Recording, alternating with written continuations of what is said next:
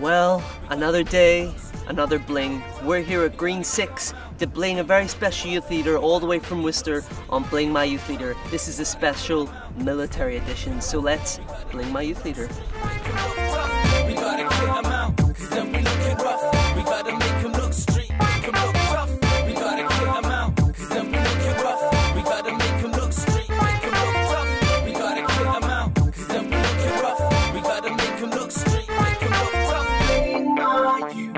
We're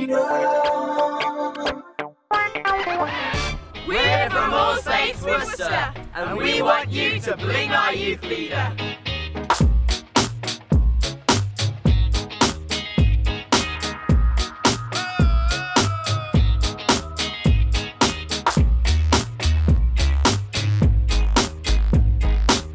Okay, so we're here with Steve and we need to do a bit of transformation. So guys, first of all, I mean, what's wrong with Steve? Everything. Everything. Yeah, I mean, there's a lot of work that, you know, we have a lot to do here. So, I mean, let's start from the head to the toe, okay? Yeah. So what needs to go first? We need to take, glasses. the glasses Yeah. need to go, okay? Yeah, yeah. That's them. And what else? We need to, we need to, so we need to put stuff on his head. So Yeah, let's need a go in, hat. yeah, Hat. hat, yeah, that's Yeah. it. So let's go into the bling box. Okay, we have to start with the conventional must-have do-rag, okay?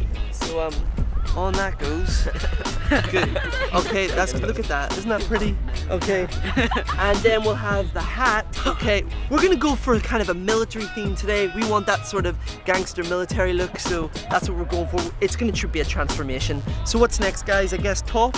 Yeah. Yeah. So we got the nice army green t-shirt. That's good. Hold on to that. I think the jacket. We need ja- it's a bit Yeah. cold today, so a jacket. Okay, that'll do there. okay.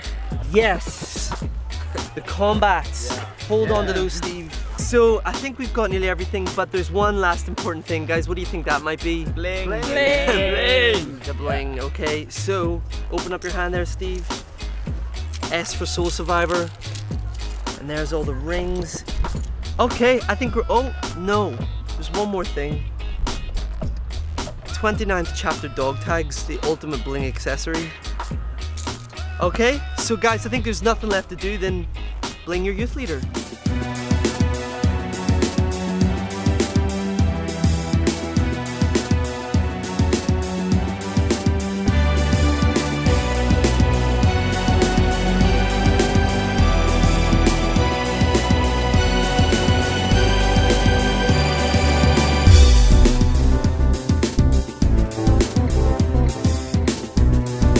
So it looks like Steve has officially been blinged, so I guess that's Bling My Youth Leader signing off.